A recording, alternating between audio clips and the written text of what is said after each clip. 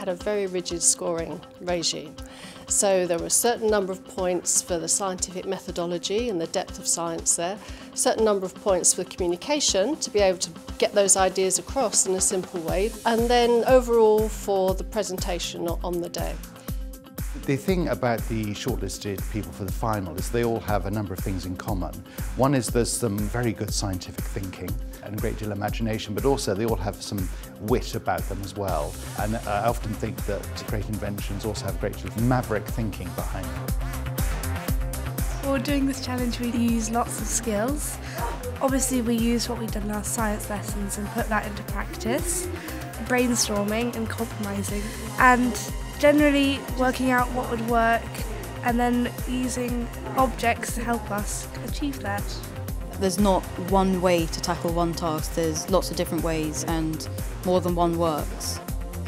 I think resilience really shone through. The fact that at the end their experiment didn't actually work that well and they weren't downhearted, here's what we're going to do to put it right.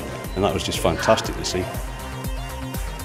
There was a lot of teamwork involved in it because was, everyone had to be in coordination to get the right results down because you had to be ready at the time the result was being recorded. For the winning team, they had just done a fantastic job. It was multidisciplinary, it was about biology, it was about chemistry and physics and engineering. And they'd put all of that together when they looked at the problem they were trying to solve.